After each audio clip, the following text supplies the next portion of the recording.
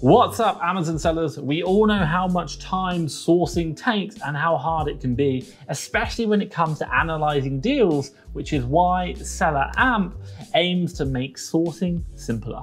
In this video, I'm going to share with you my honest review of Seller Amp, or SAS as it is known. Stay tuned. Hi guys, if you don't know who I am, my name is Thomas Parkinson and I've been selling on Amazon now for four years. Now I'm on a mission in 2021 to do 1 million pounds by the end of this year. And if you want to see more about my journey, have a look up there. I'll drop a link to a video that just talks all about it. I document it and I even share my profits and obviously what I'm learning from it. So check that out, it's gonna help you out. Okay, so enough about me. What am I gonna go through today? First things first, I'm gonna give you an intro to SAS Number two, I'm going to go through what is SAS. Number three, I'm going to go why it's important to use a deal analysis software like SAS. Number four, I'll give you a review of SAS. Number five, I will show you how to analyze deals using SAS on a live screen share. And then finally, number six, I'll give you some top tips and tricks that are gonna really help you out. So let's get into it now. Now, you might be asking the question, why are we creating this video? Well, quite simply, we wanted to support Amazon sellers by sharing our knowledge about the different sourcing tools available. We appreciate that there are many tools out there and we want to help you by giving you the information you need to make the right decisions. I want to be honest with you. I use a different tool, as you've probably seen in many of my demonstration videos. Now to support you, my purchasing manager actually uses SAS and he loves it. So this is where I'm getting information from today for this video from my purchasing manager. Now that leads me quite nicely on to number two, what is SAS? So before anything else, what is SAS? Well, SAS stands for Sourcing Analysis Simplified, which helps you understand eligibility, competition, profitability, and so, so much more. It tells you if a deal meets your sourcing criteria and supports you in analyzing deals. Quick question for you guys. Are you using SAS already or are you using another tool? Let me know in the comments down below. Let me know what you're using or if it's another tool, let me know that as well. Now, number three, why is it important to use deal analysis software or deal analysis calculators like SAS? Well, quite simply, you can do deal analysis manually, and I'll never deny that, but oh my God, it is slow. SAS speeds up this process and it makes it simple, hence the name Sourcing Analysis Simplified. For example, you can check if it's a good deal based on eligibility to sale, hazmat, and many other factors. So without it, it'd be harder and slower for you to identify good deals, and we all know time is money. So the more deals you can review, the more money you can make, and you know what? We are here to make money. Okay, so I've talked about SAS and what it does, why you need to have it and where we're getting this information from, i.e. my team and my purchasing manager. But what I'm gonna do now is give you my honest review of the software. And to do this, I need to jump onto a screen share on my computer and use this tool. So what I'm gonna say is stay to the end because I will be giving you a step-by-step -step guide of how my team analyzes deals using this software. So let's jump on the computer now and give you a review of the actual tool itself. Okay, so I've just loaded up into a product here and obviously I've got SAS installed and I've set SAS to sit onto the right hand side. So a couple of things that I really like about SAS, just even before we get into the actual panel itself, you can have it change how it works. So you can put it into a small box, you can move it onto the right hand side, you can move it onto the left hand side, or I think you can even float it as well. And it comes into a floatable panel that you can move around. For me personally, I like to have it onto one side. My purchasing manager exactly the same, but I do just like that. I think that's a really nice feature there that allows you to set that workspace up. It's gonna help you out. Okay, so what I'll do now is zoom in and obviously show you actually a bit more about SAS itself. So let's zoom in. Okay, so just coming straight into the top, we've got some really nice little shortcuts here that you can jump to different parts of the tool because there are lots of information on here. Obviously, we have information about the product itself here, like we've got the actual product, reviews, the ASIN, the EAN number, and you can literally open up our product page if you want to do this. I really like that. Now, quite simply, up here we've got some quick information. So it says if you're eligible to sell, the BSR, the maximum cost, the cost price, and the sale price, um, and also profit and ROI. It just helps you out. Now, obviously, it's got here, you can put in the calculator, and if I were to drop in, let's say, for example, 10, you can see up here, it just shows me this information. The one thing I will say is the eligible to sell isn't showing right now because the account I am on right now is in the process of being verified. So that's probably why that's not working, but I know it works. My purchasing manager, do not worry about that. So You can see here, you can put in the cost price, the fulfillment type, easy to change that between FBM and FBA and it updates in real time. You can adjust the storage in months and it's showing you clear information, profit, ROI, you know, the costs, you can see that here. You can see your fees and it hides them away, but if you want to see it, you can see all the information as well. Super useful information such as break even sale price and your Amazon payout if you're want that. We've got an IP alert here that I really like. And if you want to know, we've actually worked in partnership with SAS to support them in their IP alerts. And that's with the Fast Track FBA brand uh, IP checker. And then also as well down here, you've got all the Keepa information that you're looking for. So the different types of graphs, you can scroll through 180 day, 60 day, just going to show you that information, different marketplaces, and you can get a feel for what's going on with the products. I like that as well. Come down, you can export to different Google Sheets. So we've got like SAS by sheet two, SAS by three sheet, three or four. You can have multiple buy sheets onto this. I think that's a great feature that a lot of people talk about. And also as well, adding in notes. I love that. My God, the amount of times we need to add notes to products, maybe the way I'm going to play it, what's going on, buy low, you know, buy now, get it sold quick, buy now, hold it for the long term. This product is going to be replenishable. Those notes really help you out. Now you can click here, discount, so you can add a 5, 10, 15, 25% discount to your buy price and it's going to recalculate those profits really quickly. You can change your VAT scheme if you're obviously an EU registered seller, you've got the VAT there. And also in the EU, you can look at marketplaces as well. But for us in the US, you might just hide that, we're not interested. It also shows you here the offers, so it tells you the stocks, the price, the profits, the ROI, and it allows you to see if you were selling at that price, what's the profit and ROI going to be. Again, really easy, handy to use information, going to help you out.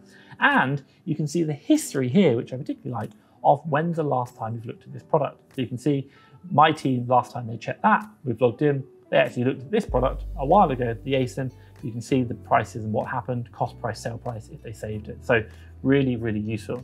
Now down here, you can click on add product and it's just gonna link you straight through to Amazon seller page, your inventory page, or even your orders page if you wanna know more. Now the other bits and bobs, you can have a look down here, ranks, what's going on with the rank, price history, you know, over the 30 day, 90 day, 180. There is so many functionality here. And they've even got functionality to go into Arbitrage Hero, which is like a third party sourcing tool. There's like Tactical Arbitrage, Source Mogul, and Arbitrage Hero. You can do a reverse search. So they work in partnership with other people and it just helps speeding up your process. So really, really like that. Lots and lots of bits. And the fact that you can hide the different sections means that you only need to see what you want to see, the right panels, that allows you to do that analysis quicker for you and just saves you time when you're doing that deal analysis by looking at only the information you want to see, makes it so much easier. Okay, one thing which I will say about SAS is that it is made by a fellow Amazon seller, a guy called Al Carton, and I know Al Carton personally, and he has sold some big numbers on Amazon, so I certainly understand that Al knows what Amazon sellers are looking for. And if you want to see more about Al Carton's journey, do check out a really old video or interview I did with him. I'll drop a link up here. You can just see more about the creator of this amazing tool. Okay, that leads me nicely on to do a step-by-step -step walkthrough on how my VA or my purchasing manager analyzes deals using SAS. So before I do anything else, what I just want to say is make sure that you set up your SAS settings correctly. Go to the settings, enter in your fees and costs, and set your buying criteria, i.e. minimum profit and ROI. This buying criteria will be the basis of the color indicator feature, that green and that red, to let you know if this product is making the profit and ROI you are looking for. One setting you really need to get correct is your VAT scheme setting. And if you are VAT registered, change it. But if you're not or you're unsure, set it to the default setting. This is, and that's obviously if you are for an EU seller, USA sellers, you don't need to worry about that.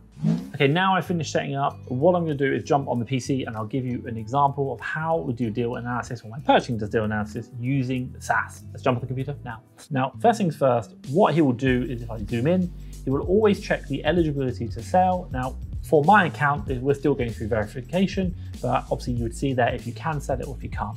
Next things, what he's going to do is drop in his cost price. And so for us, he's going to see right away if it's meeting the profit and ROI, and we can see the beautiful green boxes to tell us that that meets our criteria. Now, he will have a look at the BSR, and as you can see, this product I've purposely chosen. Why? Because it's a very, very high BSR and I wanted to show you that it goes red just to draw your eye and I really love that. So we're looking at eligibility to sell, profit ROI, and the BSR, which is saying actually does it meet our criteria? And these two do, this one doesn't, which is really good. Now, those once those checks are done, he's going to come down and have a look at hazmat. No, it's not a hazardous product. We're really happy with that. Also, as well, any issues with IP alerts, private label, even Amazon sharing the buy box. No, all green, really like that. But it does mention this product has few historic sellers, which could be a sign it's private label. So giving us a warning there, that's super important. Then finally coming down, doing the Keepa analysis, and what he's going to do is jump out to a 365 day. Why? He just wants to get a feel for that product over the whole year. This product again has not sold in a very long time. You can see no Amazon and the sales probably aren't where they need to be. But by looking at that Keepa analysis over the whole year, just by clicking 365, very, very simple, allows you to fully understand. Now that leaves me nicely to scroll down and what you'll go down to is the offer count and just looking at the number of sellers and what their offers are. So we've got an idea now of profit, we've got an idea of IP checking and if we're eligible to sell it. And then finally, we're going on to what's the competition, which is going to allow us to understand how many we want to buy. Now that is pretty much the step-by-step -step analysis he will doing. And he has the panes or the panels, which you can see here, opened and closed just allow him to do that analysis very, very quickly. And by having things such as these red and green boxes, just draw his eyes to where the tool is telling him where there might be a possible problem or something that he might need to do further analysis in. Super helpful. And I'll say it again, my purchasing manager loves this tool, finds it so, so efficient and fast for him to do his analysis. Okay, so that is how my purchasing manager uses the SAS or sourcing analysis simplified tool. Now, the one thing I would say is this tool really helps speed up your sourcing or deal analysis process. It just makes so much, it makes it so much easier. But you know, even with tools like this, sourcing for deals does take time and it is hard work. And if you are anything like me, you value your time and that is your most important asset. Well, if you are looking for deals, looking to scale your business, grow faster and save time, check out Fast Track FBA Leads. This is a service I've created whereby we've got a team of VAs sourcing seven days a week USA and UK marketplaces looking for online arbitrage leads. And what are they doing? They are finding everything on all the marketplaces, all the stores, and we put them onto our web platform. What do you what can you do? You can come in, search all the deals, looking for the ones that work for your business. Maybe you're a high volume seller, maybe you're a new seller with ungated or looking for ungated deals, or maybe you like slower sellers with much higher profits. You can search for just those types of deals, pick and choose the ones that you want, and then you can unlock them, go and buy them from the supplier, and sell them on Amazon for a profit. If you want to see more and how the system works and how you can see all our deals every single day, have a look down below. Fast Track FBA leads. Trust me, I think you'll really love it. Okay, now we're on to number six, which is top tips for using SAS. Quite simply, before further checking a deal, first review the BSR and if Amazon is on the listing and if the profit meets your sourcing criteria.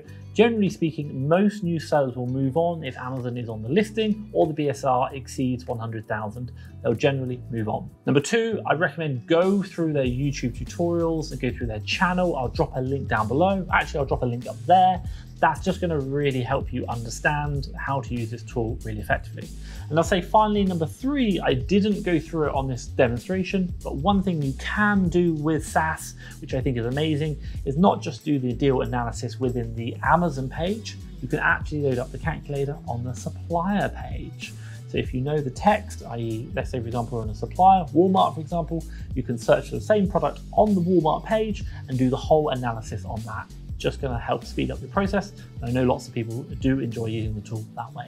Now, what I will say is using SAS really helps speed up finding deals on Amazon. But the one thing I think all of us need to do is find more products on Amazon. And if you are interested in learning about how to find more products on Amazon, I'll drop a link to a video around here that's going to help you find more deals on Amazon. Check that out, it's gonna help you out.